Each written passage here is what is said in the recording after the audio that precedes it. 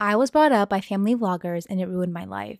I, 17 female, was brought up by parents who family vlogged. They started vlogging when I was around 7 and stopped 3 years ago. I want to hugely avoid speculation as to who my family is, so I won't be sharing much more detail. The channel had over 500,000 subscribers. My parents finally stopped when there was a mental health crisis in my family as a result of the channel.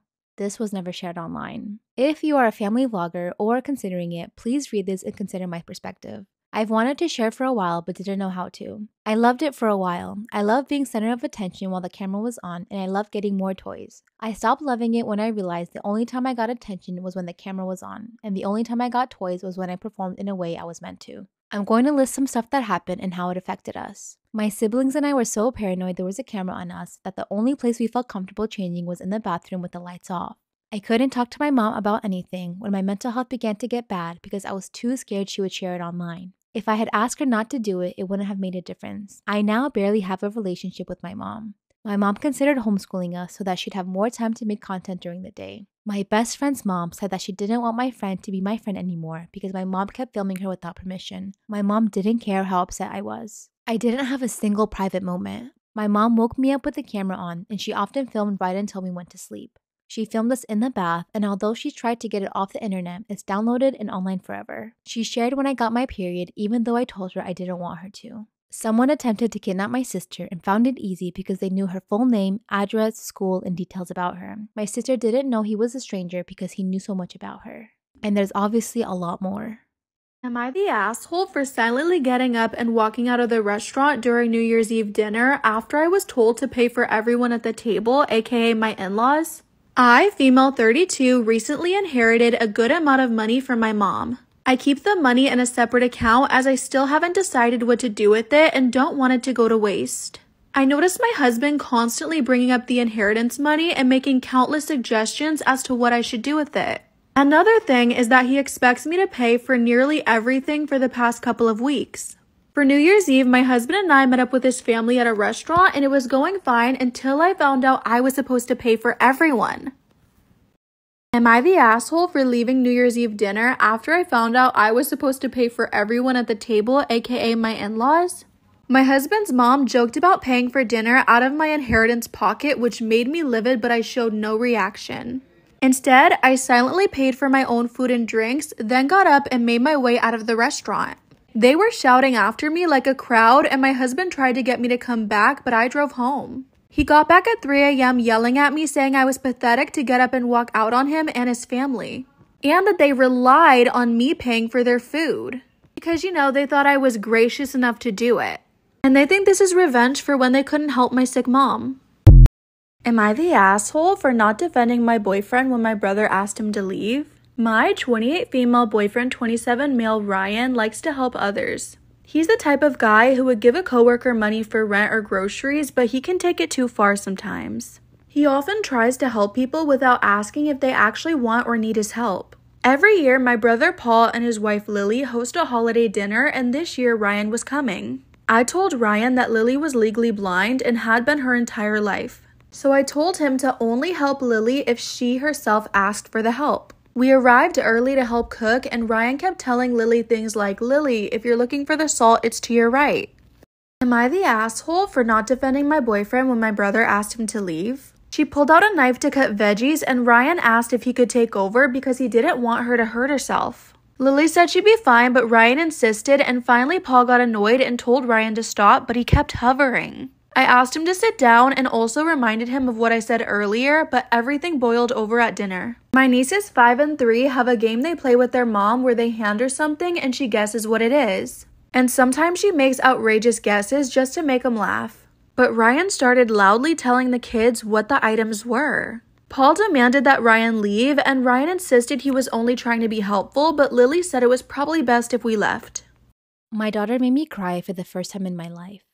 I, 28 female, have a 13 year old daughter. I had her when I was 15 after I was raped by someone who I thought was my friend. My daughter doesn't know this, and I decided not to tell her. Keep it in mind.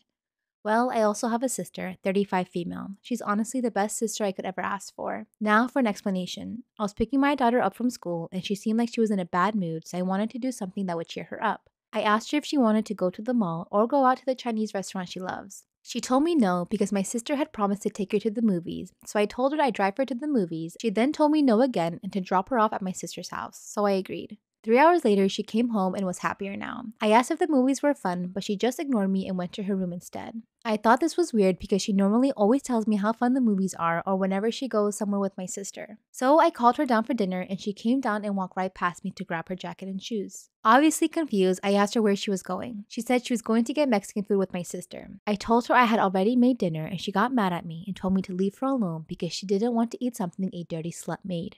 I asked her what she meant by that, and she said I was gross for losing my virginity at such a young age and that she was grossed out even looking at me. She called me disgusting whore and slammed the door and left. This honestly broke my heart since I had gone to therapy for so long and to try and cope with what happened. But as a result, my own daughter basically slut shamed me for having my innocence taken away. I honestly just lost my appetite and just went to my room. I have been crying ever since, and my heart honestly just completely feels sad. I think my sister told her because I planned on telling her until she was older. I feel betrayed and hurt and don't know what to do. She knocked on my room door, but I didn't open it. I mean, how do I even approach this?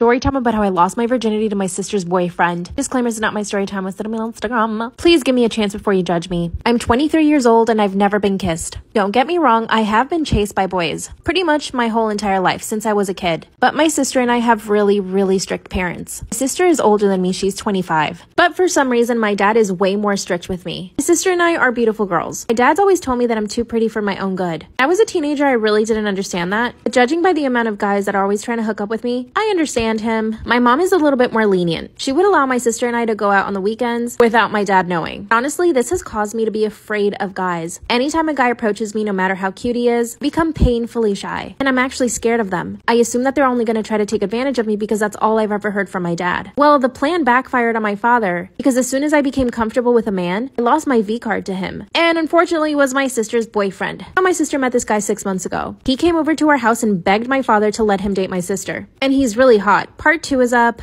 Story time about how I lost my virginity to my sister's boyfriend. Disclaimer is not my story time, it's me on Instagram. That's when my sister's boyfriend begged my father to let him date my sister. Because my dad is so strict, he actually took this guy to the police station and asked the police officers if he had a record. Luckily, he was totally clean. It took a couple of weeks for my dad to accept this guy. Eventually, when my father approved of him, he started coming over to our house and obviously I was interacting a lot with him. My sister was really excited to have a boyfriend and I was really excited for her to have a boyfriend. Now it was my turn. I asked my dad if I could start dating and he said absolutely not. Mind you, I'm 23 years old and I've never even been kissed. This is where I start feeling like shit. Because my sister loves me, she started inviting me to some of her dates with her boyfriend. And I would tag along because I was bored at home. And slowly but surely, I started having a crush on her boyfriend. He was the kind of guy that I would want to date. He was extremely handsome, already had a full thriving career, went to a great school, had a great sense of humor, and was just fun to be around. I started having dreams about him, and I started thinking about him all the time. And every time he would come over to our house, I got butterflies. I was falling for him. Part three is up.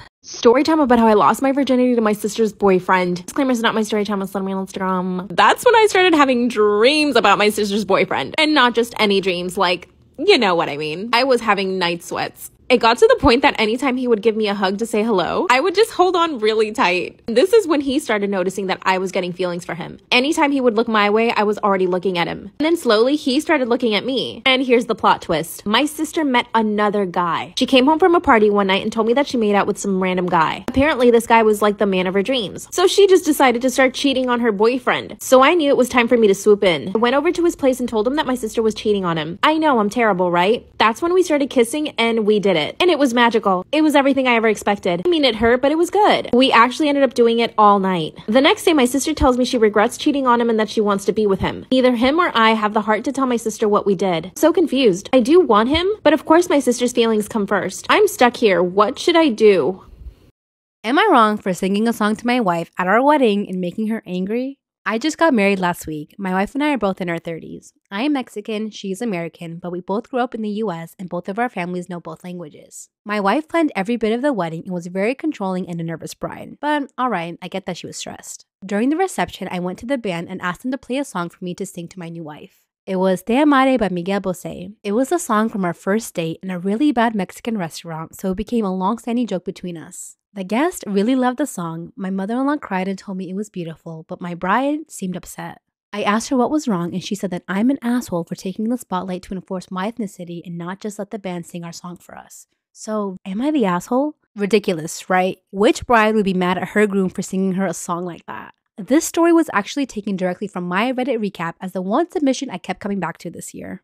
Reddit recap includes a summary of the time you spent on Reddit, the content you most engaged with, and the top communities you viewed or joined.